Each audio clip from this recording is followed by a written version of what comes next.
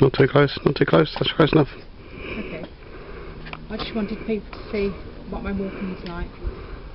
Um, I can keep going as long as I keep moving, but standing still I can't really do. And I'm just about to have um, these are the electrodes for the. They're about to wire them up to the walking device to see how things go. So I hope to be able to show people. I've got to work at it, so I hope to show people in the next few weeks what the improvements of the walking will be. I'll see if I can get backwards.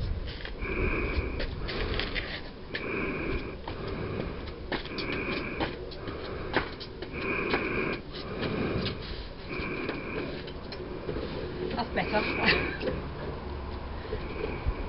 Much better. Don't stop.